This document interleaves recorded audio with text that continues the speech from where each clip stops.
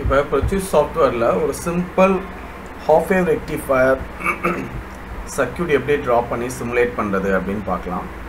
So முதல்ல component மோடில் போயிட்டு நமக்கு தேவையான காம்பனண்ட்ஸ் எல்லாம் செலக்ட் பண்ணிக்கணும். முதல்ல நமக்கு டயோடு வேணும்.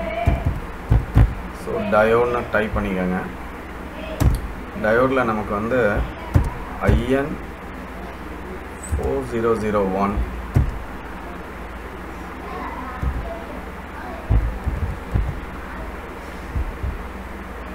so IN four zero zero one வந்து செலக்ட் பண்ணிக்கிறேன்.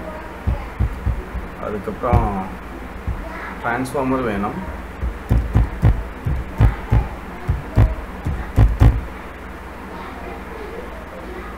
ட்ரான்ஸ்ஃபார்மரில் சிம்பிள் ட்ரான்ஸ்ஃபார்மர் அப்படின்றத செலக்ட் பண்ணிவிட்டு ட்ரான்ஸ்ஃபார்மர் வந்தாச்சு. நம்ம ஏசி சோர்ஸ் வேணும். ஏசி சோர்ஸ் வந்து ஆல்டர்னேட்டர் அப்படின்னு டைப் பண்ணால் தான் வரும். இந்த மாதிரி ஒரு ஏசி சோர்ஸ் வந்து நம்ம செலக்ட் பண்ணிக்கணும் ஏசி வோல்டேஜ் சோர்ஸ் அப்புறம் நமக்கு லோடுக்கு வந்து ஒரு ரெசிஸ்டர் வேணும். ரெசிஸ்டர் இந்த மாதிரி ஒரு சிம்பிள் ரெசிஸ்டர் போதுமானது இதையே செலக்ட் பண்ணிக்கலாம். அதுக்கப்புறம் கெப்பாசிட்டர் வேணும்.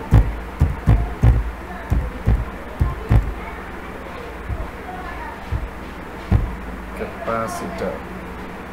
கெப்பாசிட்டர் வந்து நமக்கு எலக்ட்ரோலைட்டிக் கெப்பாசிட்டர் இருந்தால் பெஸ்ட்டு ஸோ வந்து இந்த சப் கேட்டகரியில் போயிட்டு எலக்ட்ரோலைட்டிக் அலுமினியம் அப்படிங்கிறத செலக்ட் பண்ணோம் அப்படின்னா எலக்ட்ரோலைட்டிக் கெப்பாசிட்டர் கிடைக்கும். இப்போ செலக்ட் பண்ணி வரல மேலே நம்ம கெப்பாசிட்டரில் எலக்ட்ரோலைட்டிக்னு டைப் பண்ணுவோம்.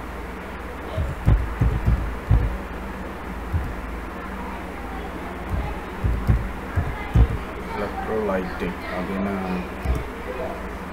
டைப் பண்ணிட்டு செலக்ட் பண்ணலாம் ஸோ நமக்கு இந்த மாதிரி தான் இருக்கும் இந்த ஷேடட் ஏரியா வந்து மைனஸ் மித்தது வந்து ப்ளஸ் இந்த மாதிரி பொலாரிட்டி உள்ளதான் நமக்கு வேணும் ஸோ அதையும் செலக்ட் பண்ணிக்குவோம் ஸோ ஆல்மோஸ்ட் நமக்கு தேவையானதெல்லாம் செலக்ட் பண்ணியாச்சு இப்போ நம்ம காம்பனண்ட்டாக ப்ளேஸ் பண்ணுவோம் ஸ்கிமேட்டிக்கில் ஸோ முதல்ல வந்து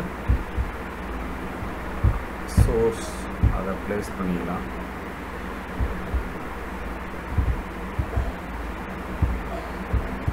கன்வீனியண்ட்டான ப்ளேஸில் வச்சுட்டு நல்லா விசிபிளாக இருக்கிறதுக்காக கொஞ்சம் நல்லா ஜூம் பண்ணிக்கலாம். இன்னும் கூட லைட்டாக ஜூம் பண்ணிக்கலாம் ஐ திங்க் இப்போ நல்லா விசிபிளாக இருக்குது இது போதுமானது. ஸோ அப்புறம் டிரான்ஸ்ஃபார்மர் செலக்ட் பண்ணிக்கணும்.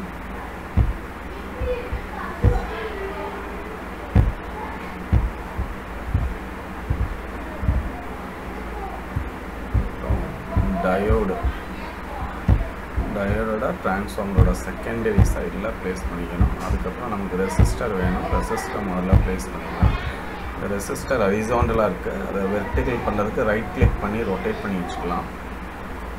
இப்போ கனெக்ஷனை வந்து கொடுத்து ஜாயின் பண்ணிக்கலாம் ப்ரைமரி சைடில் டிரான்ஸ்ஃபார்மரோட ப்ரைமரியில் ஏசி சோர்ஸை கனெக்ட் பண்ணிடுறோம். செகண்டரியில் டிரான்ஸ்ஃபார்மரோட ஒரு எண்டை டயரோட ஆனோடில் கனெக்ட் பண்ணிடுறோம். டயரோட கேத்தோட ரெசிஸ்டில் கனெக்ட் பண்ணிடுறோம். ரெசிஸ்டரோட இன்னொரு end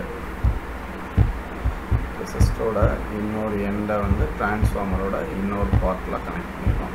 So the connections are over நம்ம வந்து ஒரு எக்ஸ்ட்ரா ஒரு கிரவுண்டு மட்டும் இங்கே ஆட் பண்ணிப்போம். அதனால் வந்து கிரவுண்ட் செலக்ட் பண்ணிவிட்டு எக்ஸ்ட்ரா ஒரு கிரவுண்டை இப்படி ஆட் பண்ணிக்குவோம்.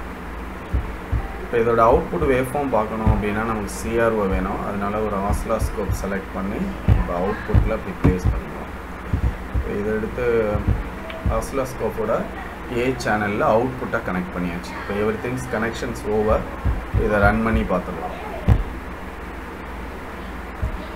ஸோ ரன் பண்ணி பார்க்கும்போது நமக்கு வேவ்ஃபார்ம் வந்துருச்சு. ஆனால் வந்து இதில் கொஞ்சம் ஃப்ரீக்வன்சி அட்ஜஸ்ட் பண்ணோம் அப்படின்னா இந்த மாதிரி கிடைக்கும். Okay so half a rectifier ஒரு சைக்கிள் மட்டும்தான் நமக்கு கிடச்சிருக்கு. அது ஆம்ப்ளிடியூடை இன்க்ரீஸ் பண்ணி பார்த்தா இந்த மாதிரி. ஹாஃப் சைக்கிள் மட்டும் கிடைக்கிது. இப்போ சிமுலேஷனை ஸ்டாப் பண்ணிடுவோம். ஸ்டாப் பண்ணிவிட்டு இப்போ நம்ம வந்து அவுட்புட் மட்டும் பார்க்குறோம். இப்போ வந்து நம்ம இன்புட் அவுட்புட் ரெண்டையும் வந்து சேர்ந்து அவுட்புட்டில் பார்க்கணும். ஸோ அப்போ வந்து நமக்கு சிஆர்ஓவில் நாலு சேனல் இருக்குது ஸோ ஏங்கிற சேனலில் வந்து இன்புட் வேவ் ஃபார்ம் அதாவது full cycle positive cycle negative cycle ரெண்டும் வர்ற மாதிரியும். அப்புறம் சிங்கிற சேனலில் வந்து எந்த சேனல் வேணாலும் எடுத்துக்கலாம். கொஞ்சம் கேப் விட்டு இருந்தால் பார்க்கறதுக்கு வசதியாக இருக்கும் அப்படிங்கிறதுல சிங்கிற சேனலில் அவுட்புட்டையும் இப்போ கனெக்ட் பண்ணியாச்சு. ஏங்கிற சேனலில் இன்புட் ப்ளஸ் ஆஃப் சை plus half cycle minus half cycle full cycle full sine வேவும் வரும். இப்போ ரெக்டிஃபை ஆனதுக்கப்புறம் டயோடு இதை ஹாஃபே ரெக்டிஃபைங்கிறதுனால பாசிட்டிவ் ஆஃப் சைக்கிளை மட்டும் கண்டக்ட் பண்ணும் நெகட்டிவ் ஆஃப் சைக்கிளை கண்டக்ட் பண்ணாது. ஸோ அப்போ இந்த ஹாஃப் சைக்கிள் மட்டும் வர்றதை வந்து சேனல் சியில் கொடுத்துருக்கோம். இப்போ எப்படி ரெஸ்பான்ஸ் வருது அப்படிங்கிறத ரன் பண்ணி பார்ப்போம். கொஞ்சம் வெயிட் பண்ணுவோம். வேவ் ஃபார்ம் வந்து லேட்டாக தான் வரும். ஸோ இப்போ பார்த்தீங்கன்னா இன்புட்டில் ஃபுல் சைக்கிள் சைன் வேவ் வருது. அவுட்புட்டில் பார்த்தீங்கன்னா பாசிட்டிவ் ஆஃப் சைக்கிள் மட்டும்தான் வருது. நெகட்டிவ் ஆஃப் சைக்கிள் வந்து கிளிப்ட் ஆஃப் ஆயிடுச்சு. ஸோ இதுதான் ஒரு சிம்பிள் ஹாஃப்வேர் ஏர் ரெக்டிஃபயர் இப்போ இந்த ஹாஃப்வேர் ரெக்டிஃபையர் ரெக்டிஃபயர் அப்படின்னாவே ஏசியை டிசியாக கன்வெர்ட் பண்ணோம்.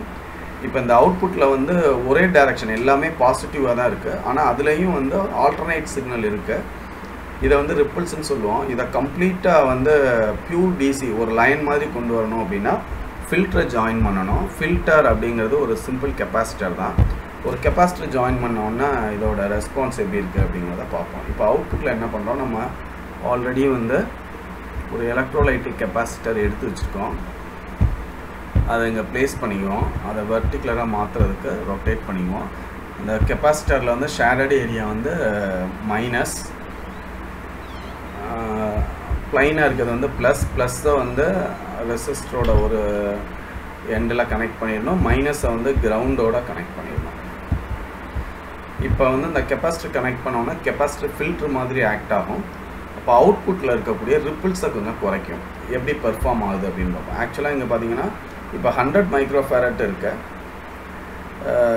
இந்த மைக்ரோஃபேரட்டை கூட்ட கூட்ட வந்து ரொம்ப எக்ஸாக்டாக ஃபில்டர் பண்ணோம். அது ரெஸ்பான்ஸ் எப்படி வருது அப்படிங்கிறத பார்ப்போம். எகைன் வந்து இதை சிமுலேட் பண்ணி பார்ப்போம். இப்போ அவுட்புட் எப்படி இருக்குது அப்படிங்கிறத பார்ப்போம். இப்போ பார்த்தீங்கன்னா வந்து இந்த ஹாஃப் வேவ் வந்து நல்லா ஃபில்டர் ஆகிடுச்சு ஃபில்டர் ஆகி ஒரு சிங்கிள் லைன் மாதிரி வந்துருச்சு. பட் இதுவுமே என்ன? ப்யூர் லைனாக வரல. எகைன் வந்து சிமுலேஷனை ஸ்டாப் பண்ணிவிட்டு இப்போ நம்ம என்ன பண்ணுறோம் இந்த கெப்பாசிட்டியோட வேல்யூ ஹண்ட்ரட் இருக்கு இல்லையா? இதை வந்து நம்ம இப்போ தௌசண்ட் அப்படின்னு மாற்றிக்கணும் தௌசண்ட் மாற்றினோம் அப்படின்னா ஃபுல்லாகவே அது ஃபில்ட்ரு பண்ணி ப்யூர் லைனாக கொடுத்துரும். இப்போ வந்து ஹண்ட்ரட் இருந்ததை வந்து நம்ம தௌசண்ட்னு மாற்றியாச்சு இப்போ ரன் பண்ணி பார்ப்போம்.